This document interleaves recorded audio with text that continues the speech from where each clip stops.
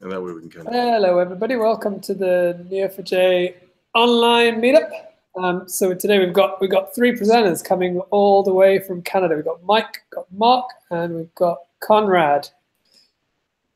Um, so I'll just do a bit of uh, housekeeping for those of you who haven't uh, haven't attended one of these before. So uh, most of this is going to be going to be these guys talking, and so they'll, they'll, probably be presenting some slides, and there's likely be a bit of code on there. So for those, you'll want to make sure your resolution is high enough. So you go down to the little HD cog in the in the bottom corner and uh, set that to 720p, uh, and that's about uh, that's about all you need to do.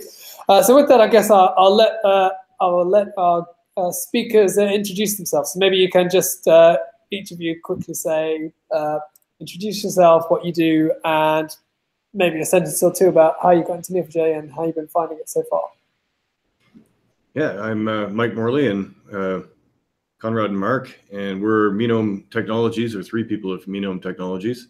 Um, we're really kind of focused on uh, bringing the graph database and doing a lot of uh, uh, narrow search problems as kind of our first uh, main application and product that we put together. Um, I got started with Neo4j back in 2009, actually working on a, a, text analytics problem in the domain of trying to extract uh, text from resumes and use it to class, classify um, people with their various skill sets, um, using a bit of topic modeling and, and some things like that. And then since then, have just really loved being involved and seeing how uh, Neo4j has has really advanced the whole science and technology around graph databases. And I'm really uh, looking forward to having a lot of fun with the spatial uh, extension in the near future. Uh, I'll go next. Uh, my name's Conrad. Um, I mostly do DevOps stuff, full stack development, some front end, odd jobs for Menome. uh, I got started with Neo4j when Mike pulled me in. He needed a developer to build kind of the first version proof of concept of our core product, the link, uh, which is at the time, it was just a rudimentary search engine for Neo4j that allowed you to traverse relationships. I really, really enjoyed working with the graph database, and it's only gotten better since then. So we've been having a lot of fun with it. Uh, I'm Mark. I'm sort of the machine learning influence here. Uh, I started working with Neo4j in university, actually. I did a project on graph databases and uh, found out about Neo4j and then started working with Mike after university, and I was happy to just keep using it. Awesome. Well, it's good good to have you here again, and obviously the toques are, are ready for this very cold weather uh, that we're having. That's right, Canada. It's always time for toques. that's what. That's the first first lesson of the day. Um, so I, forgot to mention, if you've got any questions uh, that you want, I, I could, I'm watching the YouTube chat uh, if you're watching this live. So if you have any questions that you want to ask the guys, uh, put them on there, and I will ask them when I get a bit of a bit of a gap. Uh, otherwise, I'm gonna I'm gonna hand over hand over to you, Mike, and let you uh, get uh, started with the with the talk. All right. Yeah. First, we got to get our floppy disk put in. Um... Oh, sorry. Sorry, that's that's that's a joke. Bleeding edge, bleeding edge technology from Canada. Yeah, yeah. Um, so yeah, today uh, we want to take you through a bit of a story on how we're applying some of the topic modeling stuff and how it relates into the graph and whatnot. And really, this is about trying to um, make it easier for people to tell a story with their data. Um, and what we've actually go through a little bit of history on this. Um, on, there we go. So I'm dating myself a bit here, and I'm not completely being facetious about the floppy disk. When I started with computers, I actually started on the good old Apple II, um, writing bulletin board systems. So back in this time, the whole file management thing was actually a pretty easy thing. You you know you basically what you do is you'd write a program and you'd put your file on the disk and you'd give the file a name and you knew that where that file was. You knew where your data was. It was in that place on that floppy disk. Now over time, as computers got to be more powerful and applications got to be more sophisticated uh, we needed to get better ways of managing data. So started to be uh, relational databases started to come into the picture. And what that started to do is um, people became increasingly disconnected from their data. So in most cases, people would be working with their data through the application context. And it was only people who really got into learning the SQL language that would then be able to actually manipulate data directly. Um, you know, fast forward to 2007, you're starting to see the cloud come into the picture and other types of NoSQL databases. Um, and that further created a big gap, a bigger gap between people. And now most people don't actually know where their data is stored at all. And the only way they can get at it is really through the application. And you have to have a lot of special knowledge to be able to use APIs and to uh, REST and other sorts of things like that to be able to interact directly with data. Um, so what's happened with all of this? And of course, none of the prior paradigms have gone away. We still have data that's being stored in files with things like MS Office and AutoCAD. Um, there's still lots of enterprise databases floating around, ERP systems and Oracle and whatnot in, in corporations. And now you've you've also got lots of data in the cloud and different cloud hosted systems. Um, and most cloud hosted systems are really like new Lego. You know, you you basically when you buy a new Lego kit, you can only make the Millennium Falcon, and that's about it. So most uh, cloud hosted enterprise systems, you interact with them the way they want you to. They don't really give you a lot of direct access to the data. And then a huge twist of irony from my perspective is now there's lots of files being stored in the cloud. So not only have we not gotten rid of files, we've got more files than we have ever had before. So this makes it really tough. Like for people who want to try and uh, work with data, they're having to pull data from a bunch of different places to assemble it all up. And even more than that, this is the typical thing that ends up happening with someone who wants to try and put together a story about data.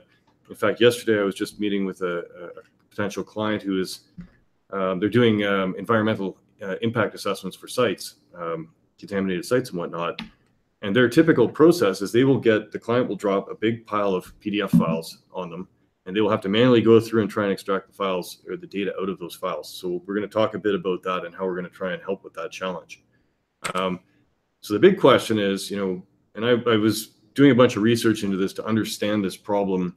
Um, and what I found is if you trace the whole file thing all the way back, like why are files a mechanism for storing data at all? Um, and it comes back to the original design of the way the Alto computer was was envisioned around the desktop metaphor. And the really fun thing is I actually found this uh, reference manual that talks about files and the file storage mechanisms and right in this reference manual, it actually says, uh, and you can see the quote here, um, facilities for identifying files and finding files are not ideal, but you'll get used to them after the while. After a while, better facilities are the subject uh, for finding files are the subject of research. And of course, as we all know, Steve Jobs kind of showed up at the Xerox lab, thought the desktop thing was awesome, took that, and then file and folder metaphors are still the primary way that a lot of our data in, in, is stored and managed. So to use a bit of a, an example, and again, this is directly derived from uh, experience, and I've seen this many, many times. So in this case, this the goal here is we want to try and use a hypothetical situation where we are setting up a, a data study to find suitable sites to implement a wildlife con conservation project. Um, so this is to uh, a thing, a study which in which we're going to take a bunch of data and put it together and try and identify several candidate site locations uh, through a bit of spatial analysis and facility design and whatnot. So the typical report assembly process, so the product that comes out of this is generally a, a giant report, a static report. And the way this normally works uh, at most firms is that person or people involved, the team involved with this will go in and they'll, they'll get the big box or the big pile of PDFs, or sometimes they'll even get paper things. They'll go through and they'll try and identify and connect up all the different uh, PDF reports and go through and manually extract the data out of those reports into an Excel spreadsheet. They'll then go through the various enterprise systems by hand, pulling out bits of financial data, trying to find relevant project data, looking for spatial and site data. They'll stick that into their spreadsheet and generate charts and graphs out of that and, and tables and whatnot. Then they'll go and they'll try and find some pictures that represent the, the story that they're trying to tell. They might do an AutoCAD drawing or something to that effect to generate a site plan, a conceptual site model all of that stuff gets put into a Word document that gets then turned into a PDF that then is emailed to the client and also stored in the file store. Now, you can imagine what ends up happening with this if somebody decides, uh, oh, a bit of data has changed or we need to add a new table. You have to go back and redo this whole process. Every single document that's produced in this process or report is custom built. It's a complete custom assembly process. Generally speaking, the processes for creating these things are not documented and not stored and are not reproducible. Um, to put this into a bit of an assembly line metaphor, so where are we in this picture? Um, we're back in 1908. So when the car manufacturing process started, uh, it was a whole bunch of single stations and teams of people would go to each station and they would actually build every car from scratch. And then, of course, over time, that process has evolved to where now it's quite sophisticated through various steps of automation and robotics and bringing technology into the picture. Manufacturing is now a very sophisticated process in which you can actually construct multiple products from a single assembly line. But with data, we're still stuck back in the station assembly, where each data product that is produced is almost always a custom build. So we really like to start, and this is something we've been starting to talk about uh, quite a bit in terms of uh, presentations that we've been doing, um, and conceptualizing this a bit more and trying to make it more concrete. In that, when you think about it, uh, documents and reports and spreadsheets are really data applications that haven't been written yet. So usually people go to these tools because they're the tools they have at hand. And there isn't really a great way of trying to pull together all of the data and make that easy and re uh, repeatable. Um, so what we're really trying to do is we're we're trying to look for there's two parts of this. So one is um, making it easier for people to produce the things the data project uh, data products that they need to produce now, but improving those processes by using uh, a lean uh, data value stream analysis approach to figure out which parts of the process we can actually go after now and make better for people. But then ultimately, what we really want to do is get into this idea of helping people create data driven documents. So I'm going to talk a little bit about that. Um, this is an example of a data driven document on the right hand side here, uh, this, this graph. So typically, the reports that are produced out of these sorts of uh, uh, impact assessments and whatnot are PDFs, big, long documents, lots of words. Um, you'll sometimes get graphs and pictures in them, but they are static. Um, I have a colleague from uh, Italy actually, who's I was just visiting uh, last week, um, who's doing a bunch of work with the Golder Media Lab, in which they are actively trying to move towards data-driven documents, creating interactive portals, graphs and re reports and statistics and whatnot that are still connected to the original data source. Now, it still takes them a lot of work to do this, but the impact is significant in terms of stakeholders being able to really see and get a much better idea, a much cleaner communication about what is actually going on, rather than trying to understand and read through a bunch of text. In addition to that, another bit of value that comes out of this is the fact that the data can be used for other things. Plus, if new data comes into the picture, they can very quickly add that into this.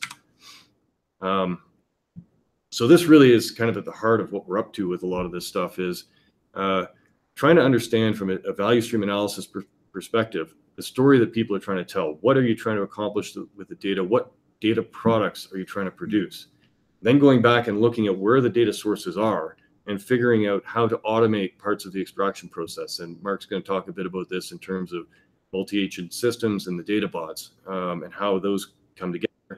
And then a huge part of this, and what we're going to focus on uh, towards today with the little demo and some of the talks on uh, machine learning and the file processing aspect, is how do we solve the problem of all of the legacy PDFs, files, and documents that are out there that, that people need to get data out of? How can we move towards automatically extracting data data from old files and reports?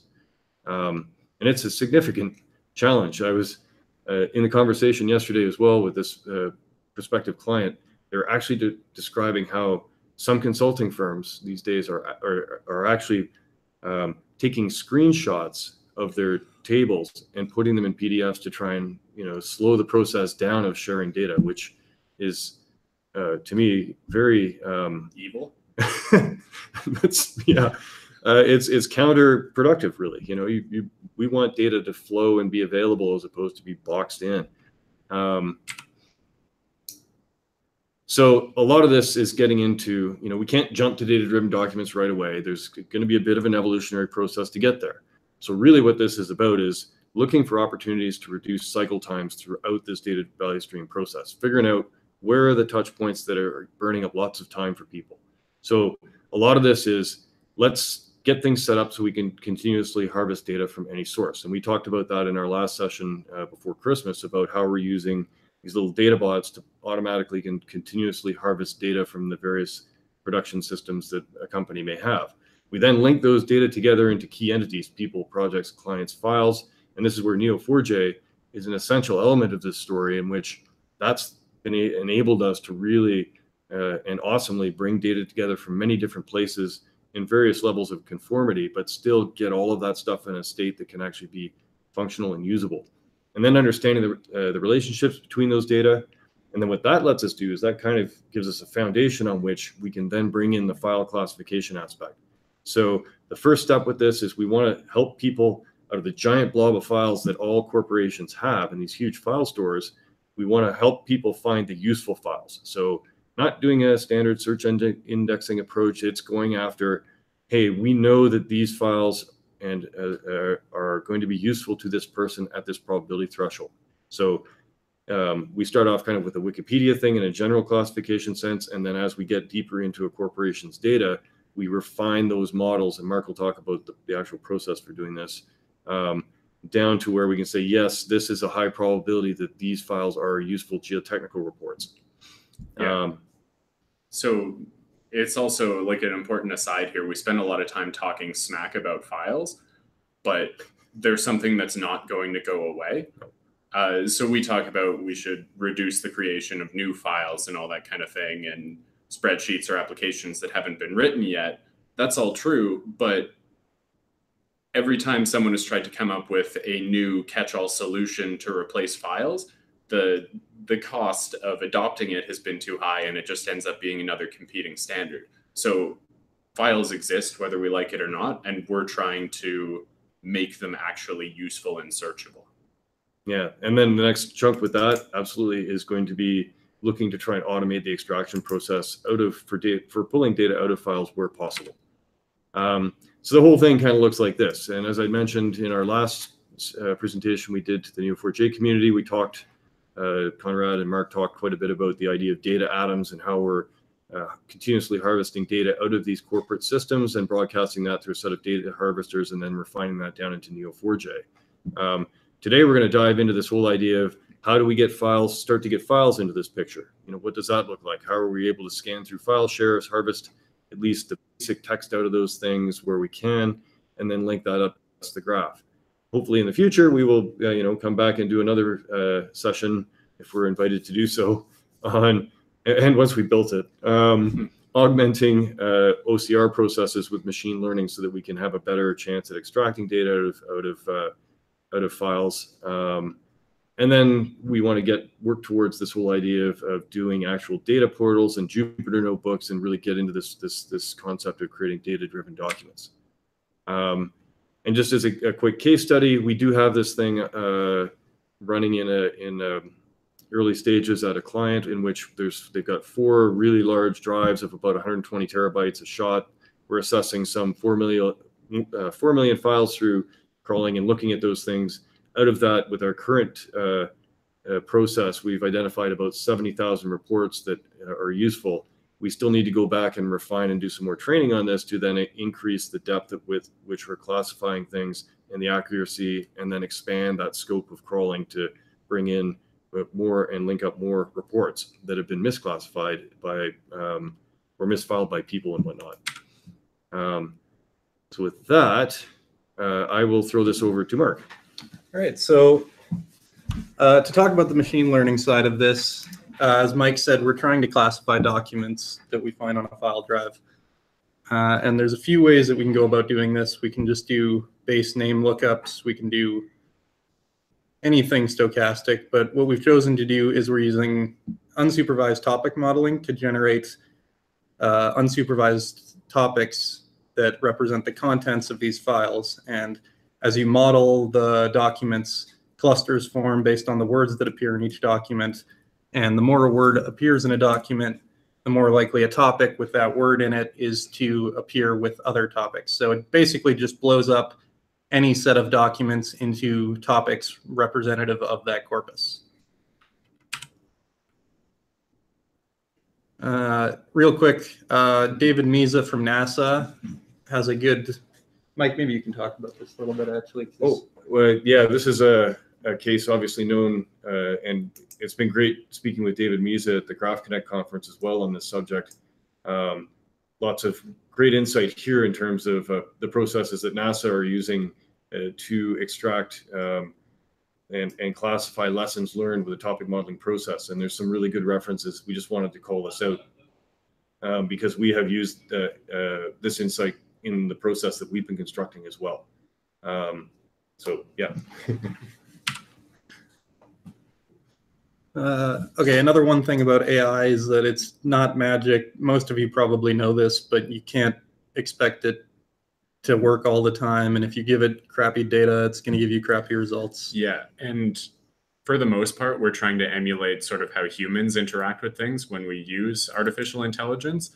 And that means that usually our upper bound is the proficiency level of a human. And in the case of file stores, a lot of our problems come from human error. So it's still a little bit nebulous and not a perfect solution. Mm-hmm.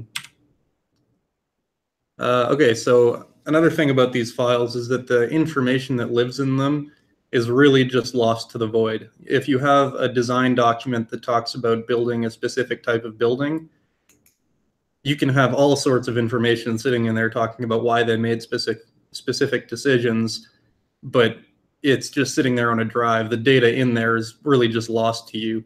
So what we want to do is we want to find this data that doesn't really live anywhere and we want to give it a home. So for example, if someone builds a building and they write a report on how they built the trusts for the parking lot or something like that, if you have that report, you can go in and you can read all of their notes and you'll figure out what they went through and what they thought it was important for you to know.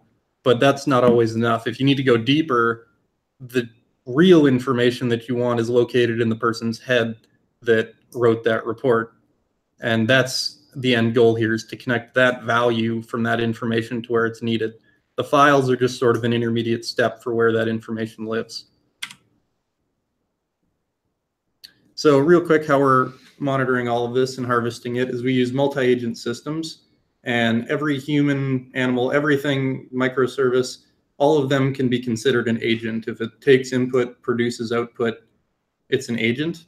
And by using this paradigm, we can organize these agents to describe how an environment functions. So the example here, you can see how someone would ask for a file request on a website. And this is just like this, this system exists everywhere, not as a multi-agent system. We're just modeling it as one.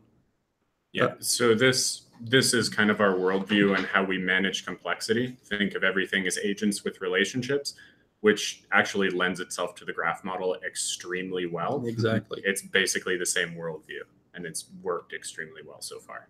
Uh, another important thing to note is in multi-agent systems, a multi-agent system can be represented as an agent as well. You can have recursive levels on here, so the complexity is it really just expands infinitely.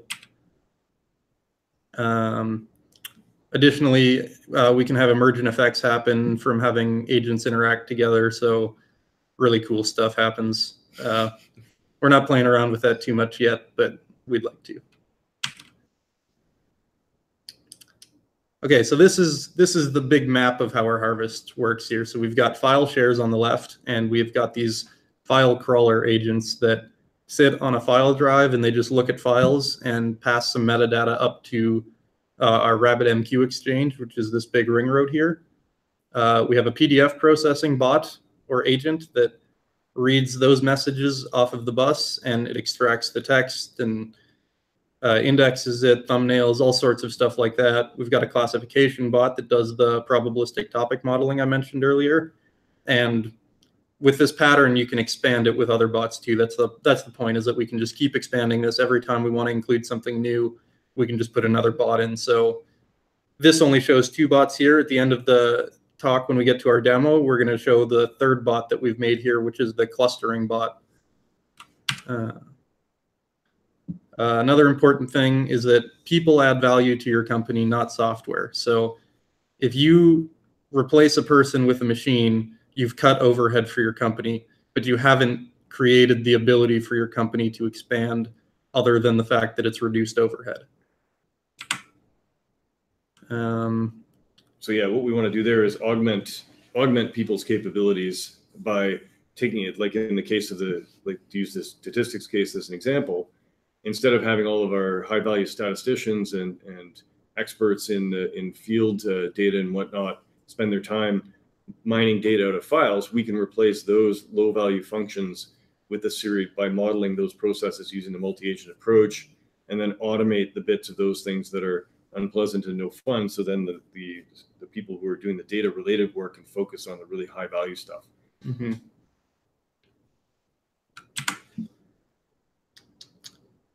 So basically, our goal with all of this is to find out where the value that a company has in these files lives and bring it back to where it's needed in the company. So I think we're going to get into our demo here. Jump to demo. Um, so I'll just give you an overview here real quick. We've got our stack running on the computer here. Uh, you can see RabbitMQ here is our message bus. And then you see this thing, the FSS here. That acts as our PDF processing bot. So and what describe what happens in that. So uh, what happens with the FSS is when a file is dropped in to Minio, which is our file store here. Yeah, Minio is an open source uh, Amazon S3 compliant API surface uh, that turns um, basically any kind of uh, storage device into an Amazon S3 like drive. So what what'll happen here is if I drop a file in Minio, Are you able Uh, to zoom that in a little bit? pardon Sorry? me, Are you able to zoom it in? Make the text a bit bigger.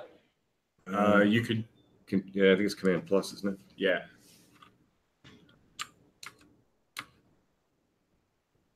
is that better? Yeah. Okay. So what'll happen here is we'll drop a file into Minio, and our Minio harvester will kick uh, an event out on the Rabbit bus, and the FSS will pick that up. Uh, the FSS will extract some full text and add that to the node in Neo4j, and then the uh, topic modeler will pick up the message that it kicks out onto Rabbit, and it'll realize that there's full text available in the graph, so it'll ingest that and model it with the unsupervised topic modeling, and it'll give us some topics. Yeah. And FSS stands for File Synchronization Service. So it's what we use to keep the graph in sync with our file store contents. Let's give it a go here. Kick it over so you can see it. Okay, so here we see, so you can see that we got a new one here, and we tapped the thumbnail extraction, text extraction, checksum, uh, full text. We do a corruption check in there as well. Yeah, so currently the text extraction process, like, that's another thing that's really nice about uh, multi-agent systems is we can kind of start off with a, an initial process. So right now, the goal of the process that we focused on is the find and discover process. So automatically classifying documents using the topic modeling uh, and then and then linking them up to uh, associated topic nodes and other things so that people can find those things more easily. Um, and we're generating a thumbnail out of that. Right now, there's not uh, an OCR piece that exists in that chain.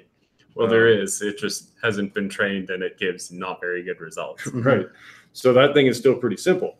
The goal with this, though, is um, over time to start to evolve those types of um, you know, those parts of the bots to improve at each step um, the ability of the OCR to recognize things better and better. And we it's going to be kind of an iterative process, and we may add more of these agents into the stream uh, to then start to pick up and improve the different parts. And we may also start to split the bots up so that there's one that you know, let's say there's a different processing chain that's needed for Word documents as opposed to CAD drawings, as opposed to Excel spreadsheets. Uh, right now, we're just using the one uh, file sync service to generate all of, extract all of the content from those types.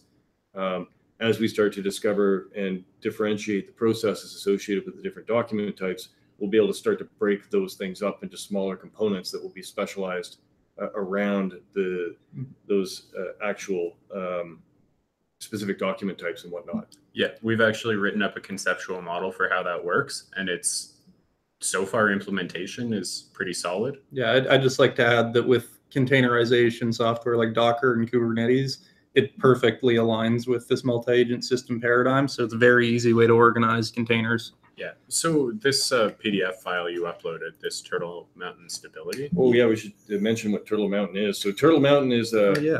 yeah, it's uh, we chose that one deliberately. So what we're trying to do here is we're trying to demonstrate the classification of a particular type of file. In this case, a geotechnical report. Um, But we don't know it's a geotechnical Yeah. report yet. we don't know it's a geotechnical report yet. Sorry, that's true. I'm, Yeah. I, I just saw Mike madly Googling for like public design documents for Um, buildings and stuff. So Yeah, yeah. So and Turtle Mountain, what that is, is it's a it's a major it was a major landslide that happened uh, at the turn of the century, just down the, the road from where we live here in in- Alberta. in, a small town called Frank, Yeah, and uh, it obliterated a village. Um, smaller town. yeah, and but that the mountain there is actually still seismically uh, active. So there's continuous monitoring going on on that particular mountain, um, and so there's a number of studies that have been done on it. So we want to see now. Let's you know if we were trolling around through a company's uh, file drive, could we pick that thing out as actually being a geotechnical report? yeah, Mhm. and all that we know about the file is where it sits on the drive and what its bytes are. Okay, so we got this file off the drive and we've got the full text up here and we sent it over the topic modeler and you can see it modeled the document and it published the message. So if we look here in the graph, we'll be able to reload this. There we are. And if we expand the relationships out I'm here, sure that the text is in there and all that stuff. uh, Can we make this bigger? Yeah, we should zoom that in. Uh, control plus, I think, is the key there as well, or command plus. Sorry. There you go. Yeah, sure. okay, You can see what we're doing there is we're actually extracting all of the text out of the file. Um, we're not doing any breaking up of the text further at this juncture. not not before it goes into the graph, but the topic modeler does cut this up its own way. Yeah. One of the things we're considering doing is uh, is getting further into this by breaking the the text up into a subgraph, but um, we haven't done a lot of experimenting with that yet. Okay, so What did this get classified as? let's take a look. So these red Um, nodes are topic nodes. Are um, What what algorithm do you use to extract the topics that you have there? So we use a Python library called GenSim, and we're using LDA topic modeling. Okay, cool. and our corpus, like our training set. Uh, right. Uh, so originally we started with the Wikipedia model that GenSim has for their website's demo and everything, and we generated 100 topics from Wikipedia. We then classified all of the corporate files against that from this particular company's file drive, and then we took the files that we ingested that were related to things that we were interested in. So we just we just took a base cut line from the Wikipedia corpus, and then we took those files and we generated a more restricted domain corpus for the company's vertical. Uh, so that's why all of these topics here pertain to. Yeah, and the, the other part of the equation that, that falls into this is um, what we did is we had uh, um, uh, there's there's kind of a few manual steps in terms of the training aspect. One was um, we used a, a co-op student who An agent in our system. an agent in our system. Yeah, we so we modeled the uh, the manual training process using a co-op student who uh, dutifully went through the drive, finding actual examples of specific types of reports for us um, that we then used to train up a, a more s- a more granular model. Um, the other thing that we did is we also, you know, some of the files are named correctly. So some of them actually do have the word geotechnical in the file name or somewhere on the path. Um, so we could then also further extend the modeling aspect by just using simple regex technique, techniques and whatnot as we scan through the file drives, looking for those sorts of signals. But some of them are also called things like geotechnical. Mhm. So yes, you can only rely on that so much. This Yeah, is so- also a, a recursive process. Every time we update the corpus, we look at it and we go, "Oh, we should fix this and change these words." So it's something that changes over time too. Yeah. So yeah, and the, the initial thing is classifying stuff, but the next phase of this gets into actually firing the documents through the judge bot to act as a filter to determine whether or not something is of said thing. Yeah. So real quick before we get into that Okay, here, sorry. uh, you can see that it's it's been modeled into all of these topics, and each of these relationships has a weight value associated with it. Our topics don't have explicit names when we generate them. No. We just name them based on what the five most common words. Yeah, it's it's just a pile of words. Um, so as you can see, it's got a uh, 0.28 affinity to this one here, which has site geotechnical in it, which makes sense. 0.28 is actually pretty high. That's pretty high. That's good.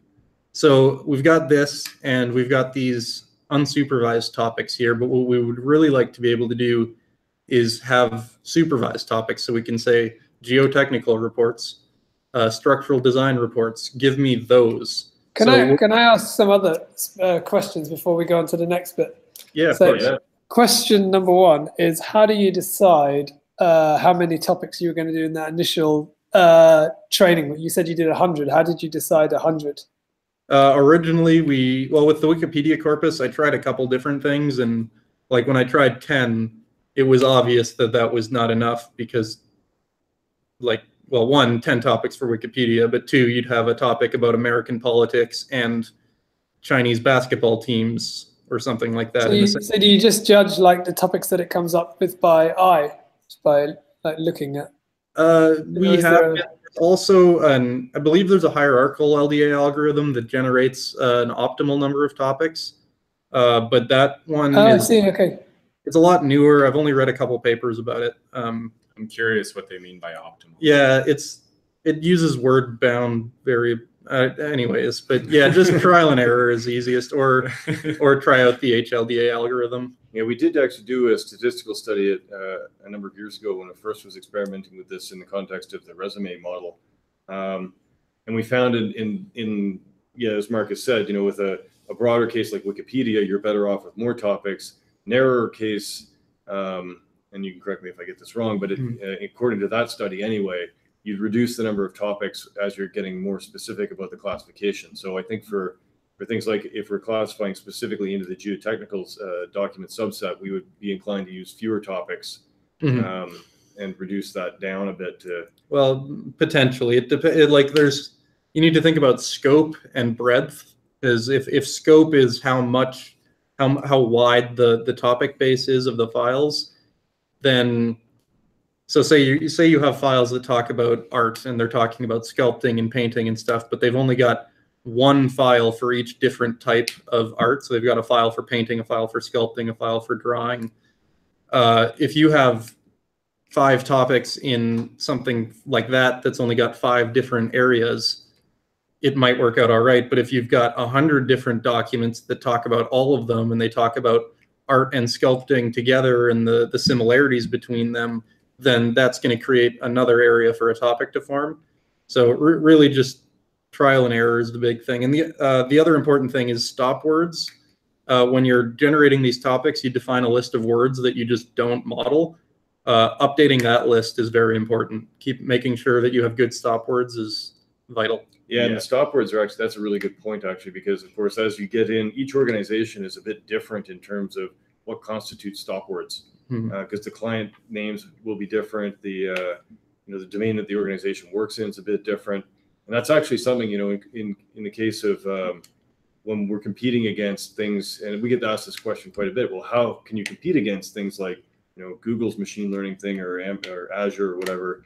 Um, and that is actually a big differentiator is we we can get into being very specific about an organization's domain um, where those other larger companies are going to have a harder time doing that at least at, at this juncture um, because they're just not going to be able to uh, have people on the ground who can understand the world of geotechnical reports and site studies um, and it's not cost effective for them a lot of the time. No. They could go deep into these verticals, but it's not as profitable as being a global search engine. that's right And then uh, that's cool. Yeah. And then the second question I had was, in the context of of topic modeling, what what's the difference between unsupervised and supervised topic modeling? In, in Okay, so- context?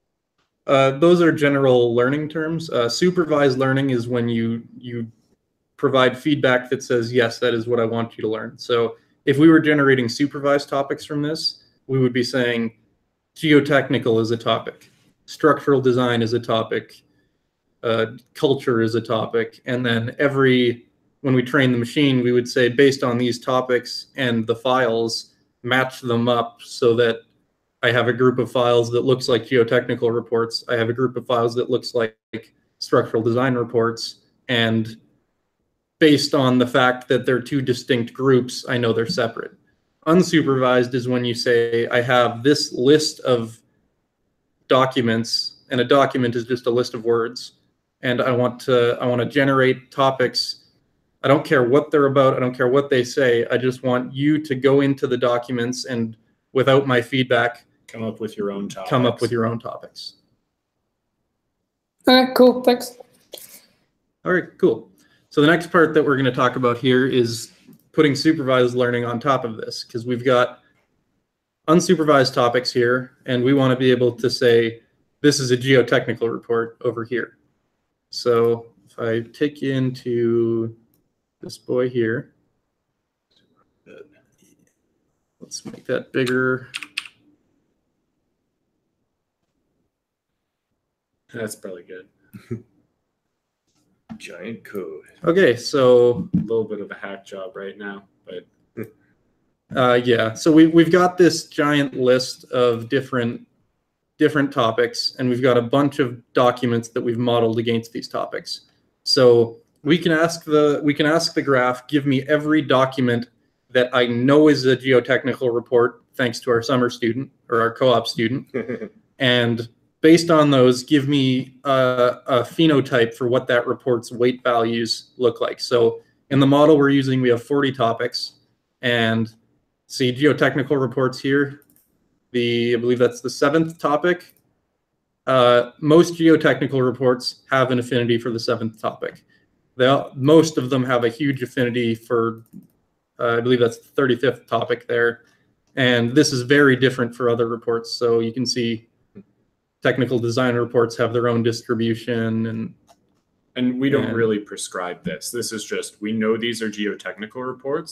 What do they usually get classified as? yeah, It's like a fingerprint. Yeah. basically it's a phenotype.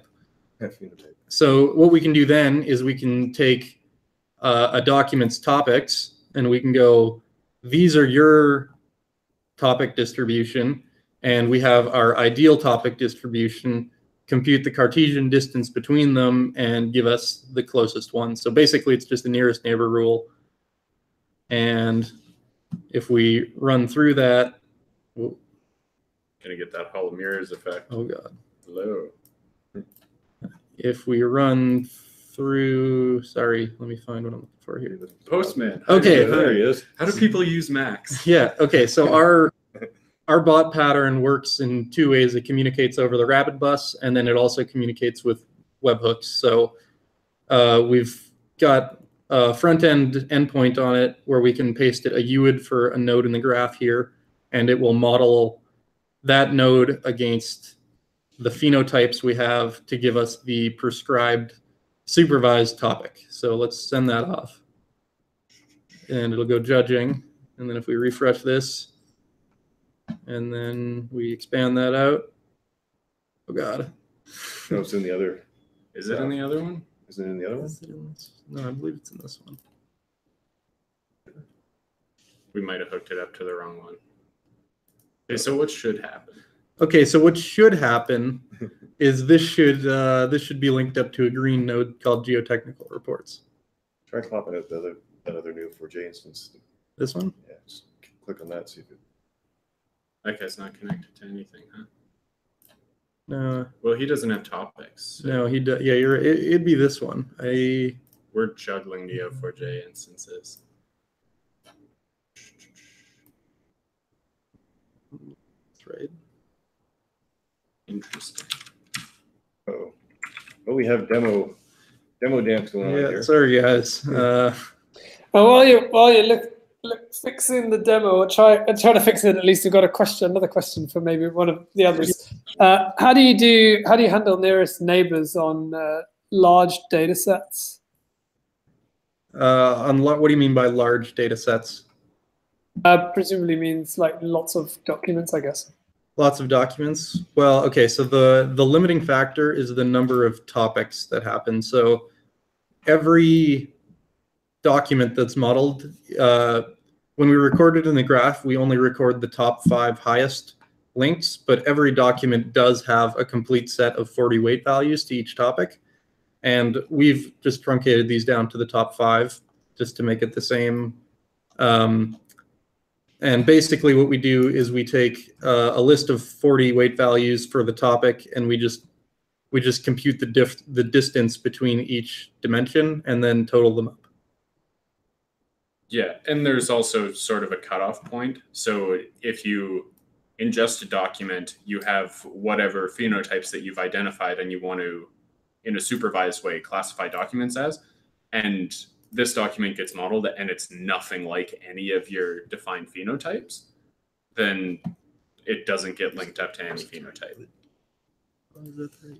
And so with this approach that you're describing, does it work? So this the, the second part of the question was like the large data sets means millions or billions of documents. Have you I don't know if we've ran into any complications based on the largeness of data sets because for a while we had like 4 million files in here Uh-huh. and neo4j is pretty good at handling stuff that's that big or bigger so The big thing is making sure that your phenotypes are generated from clean. There we go. oh You said look the wrong you would Okay, yeah, I was pasting in the wrong UID there. Yeah, but- the- I mean, the data sets, just to answer that question a bit more, like typically at corporate data sets, you're looking in, you know, the, the tens of millions of files and whatnot, as opposed to hundreds of millions or you know, that kind of thing. Um, so it actually isn't necessarily, you know, big data is kind of a relative thing in that sense. Um, and as Conrad has said, you know, so far, I think the graph database for the, the one of the clients we're doing a bunch of work with, the one I, the case I cited earlier, um, I think that is running about uh, 10 million, roughly 10 million nodes.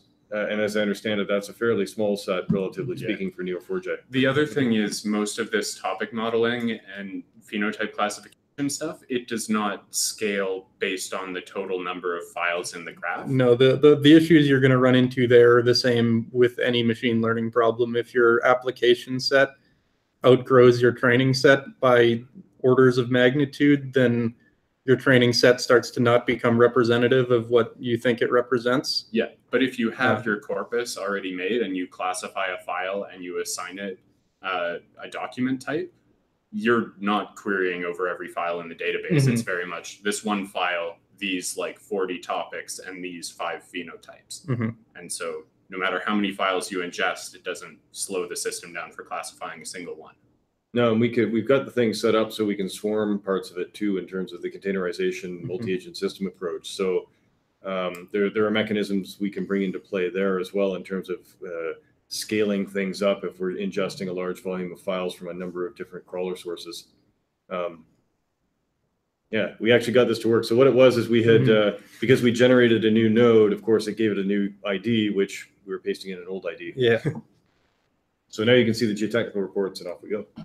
Uh, and I, I suppose I could show you real quick here too. Uh, the nearest neighbor computations, these are just the values that it puts out, and we take the smallest one. So TD report and geotechnical report, you can see they almost tied. And if you were to look through the phenotypes here for TD and geotechnical report, you would see that they're very, very similar. Um, so that's that's an indication that we need to clean up our phenotype data set a little bit there. Yep. And the intent with this is, uh, is as the crawlers are blasting through, so the typically engineering firms and consultancies that live in this world, um, they, they will use a file naming convention um, to try and store, uh, you know, organize their file stores.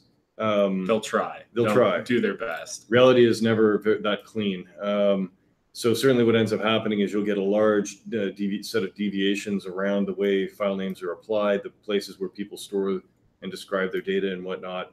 Um, so this type of an approach um, is really going to help us out in terms of finding and identifying uh, files that are not classified or, or filed using the standard conventions.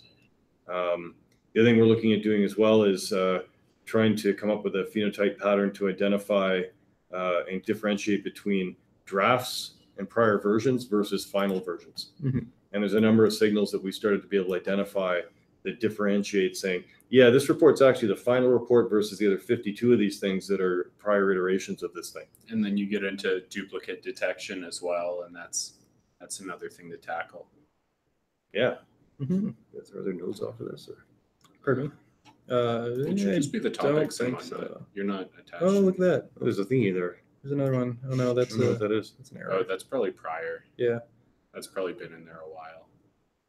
So um, the other thing that we just kind of wanted to say as we approach the end here was, uh, you know, we, we did do a fairly, um, we want to obviously take questions or more of those. Um, we do, we do get asked a lot when we're doing these sorts of presentations about the, uh, the validity of and application of the blockchain. Um, and we, we definitely wanted to make a statement about this whole blockchain thing and, and how important and, and, you know, valuable it is. So what we did is we did Especially in the world of data. yeah, in the world of data and, and, and whatnot. So we did a detailed analysis of this and we've come up with a comprehensive flow chart that describes everything you need to know about blockchain in this, this particular world. Um, Questions? questions?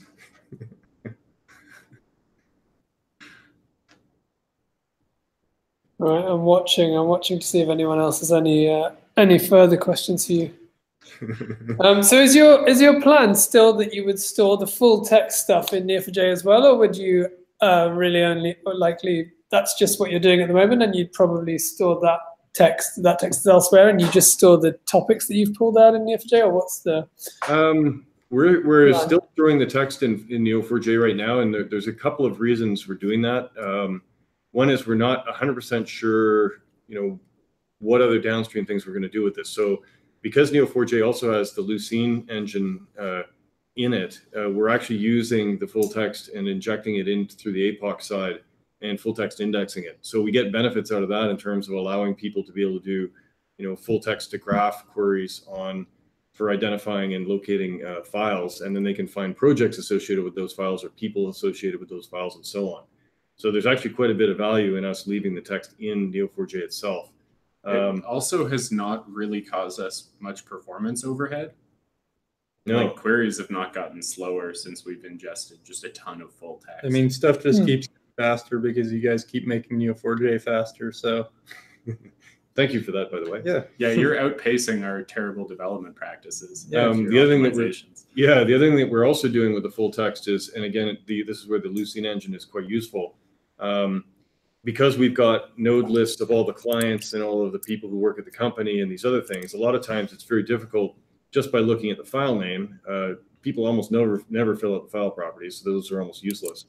Um, but we can direct the full text search at the full, uh, sorry, the search into the full text, but by taking people's names and then iterating that through the full text engine, get reports back that correspond to those people's names, and then generate actually this relationships associated with this person's probably an author of this document. Yeah, or even show me all of the reports that I'm named in. Mhm. Yeah. So there's lots of additional value that we're finding out of keeping the text in Neo4j actually. Okay. And so do you, uh, can we just loop back to some of the stuff you talked about the middle, at the beginning? So now, so people can, can, uh, can hook it all together. Um, so what, what would you, you explained at the beginning, some of the use cases for where you could use this uh, approach. So maybe we can just remind people um, what those were. Yeah. So the, the the, the there's a couple. It goes in it goes in layers. I'm just trying to get back to the, the one slide here. So the main use case for this is um, all companies have lots of data. Um, in lots of places. in lots of places. So really what we want to try and get to is, is a place where it's, it's, we want to make it much easier for people to actually work with the data that they've got. Uh, they've got access to and take out wherever we can, reduce the manual processes involved with people having to assemble data together. Um, so the first thing is being able to find and discover things. Okay, I, I can now go and I can find all the projects and all the reports. Um, uh, and the people associated with a particular project. So this is the idea that, you know, our first product coming out of the gate is really about helping companies tell the story of the work that they do. So um, what are all the things that went into the decisions and the uh, reports and designs that went into making a building? Or what are all the things that happened on this oil and gas site? You know, there was a, um, who are all the people who contributed to this outcome? That kind of a use case. Um, that is really all about uh, harvesting data from the enterprise systems, which was this this guy up here, and then tying and pulling in and classifying automatically all of the files, and then making that available through a, a search engine user interface. Uh, moving forward, the next step with that, we then want to start to enable people to get access and to actually be able to leverage the data in here that we're assembling in Neo4j to create uh, data products. So instead of somebody having to go through this whole horrible manual process that I described uh, earlier, I don't know if there's a way to jump directly to a slide this thing, but um, Okay. whoa, that worked.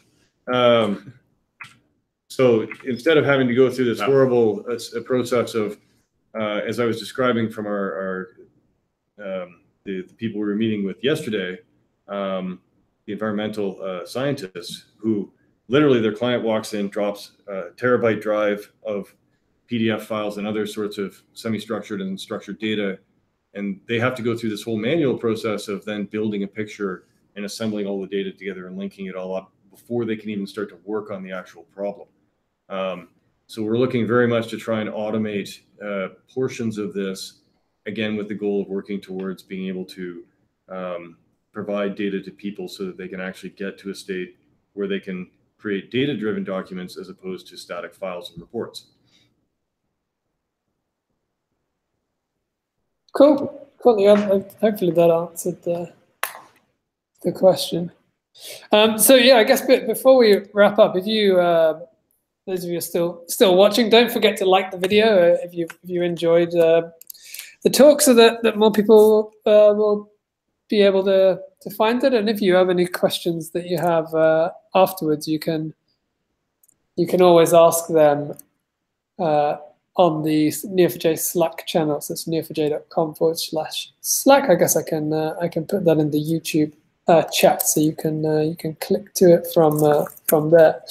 I'm going to give people a few minutes if they have any uh, extra questions, but but I guess they've had a, they've had a lot of time to ask them, so I'm going to assume that you've uh, you've done a great job of, of answering everything. Um, so if people were to want to try and do this stuff themselves, where, where would you su suggest is the best place for them to start? Would you, is it like from the GenSim website? Do you have something that you've written up showing how you glue the tools together, or what would you? What would you has a really good tutorial set up on their website where you ingest Wikipedia and break that up into topics. Uh, Certainly, David Meza. Uh, so David Yeah, Meza went. right. Uh, he's got the code, the source code from that uh, uh, published on um, on his uh, GitHub repo. Um, that's an R-based approach. Um, so we've gone down a little bit of a different path with it, and we we just basically containerized the the GenSim module and then wired it into this larger processing pipeline. But yeah, as Marcus said, there's you know the the we're just leveraging some more open source code there and putting it into more of a a pipeline process. So there's not anything, we're not doing anything magic in that sense, other than just automating it a lot more. GenSim's Python too, if we didn't say that earlier. Oh, yeah, mm-hmm. that's a good point. uh, a lot of this stuff is lives in the Python domain. Um, Python or R are probably the two main approaches that we've investigated. Um, there are topic classifiers available in Azure and in um, Actually, there's a couple on NPM. There's an LDA thing Yeah. on M on NPM too, but it's um, Yeah, the ones we tried out in those aren't that great. The challenge with some of the big cons- commercial ones is, um, you know, they're they're fairly generic, and in the case of what we're doing with this, we really need to have control over the training process uh, at a fairly granular level. So that's why we went with the uh, the GenSim approach in this case. Yeah. So running GenSim with whatever corpus and whatever documents you have, and then piping output into the graph so that you can see how the files relate and which files connected to which topics. You kind of build like a tag cloud automatically if you do that. Yep. And you can do other analytics down the line. Once it's in the graph, it's very easy to play with. yeah. I guess I could I could show you. Yeah, let's Uh, how do I flip this here. back to sharing? Yeah. Uh, It's all right. It's all right. We've got, we've got to wrap up. But if, Okay. uh, I've shared I've shared some links to all the things that you talked about. So I've shared some links to uh, David Meza's work and to the the GenSim package as well, so people can, can click on those uh, if they they watch now or, or later on. The, the chat stays alongside that. Um, so I guess yeah, I'll say thanks again for uh, for, for presenting to us. I think it was really interesting. Hopefully, people have got some ideas of some projects that they can go and uh, try out graphs and uh, and text analytics on. It's a lot of fun. Yeah, it is. And we're looking forward to Bloom for some of this stuff too. That's Yeah. gonna be that's gonna be really neat to play around with. Yeah, so that should be out soon, and I've put a link to the early access program on the chat as well. Oh, Cool. so I guess uh, we'll wrap up. So thanks again, and um, thanks everybody for for, for watching. And uh, we're going to do a, a meetup next week, same time, on a World Cup graph that we've created and a GraphQL API we've got on top of uh, uh, on top of that. So I can uh, let me uh, let me share the the link to that as our as our last uh, last thing for uh, for today. It's coming up. So if you're if you're interested in the World Cup or you just want to see how you build a Neo4j data set, I'll be uh, I'll be uh, going through that. And obviously England are not very good at football, so they tend to lose. Uh, so my colleague Jesus uh, is going to join me, and he's uh, from Spain, and obviously they are much better at football than England. So we'll at least have someone who's got a, a decent team there. And I don't know if Canada has a shot. I don't know. Uh, I, don't, I don't think we, we can't have you guys. Working on it. For like ice football or yeah, ice ice football. There we go. You have to do ice hockey go off, then you'd be in. Awesome. All right, thanks again. Thanks. Thank you. Bye bye.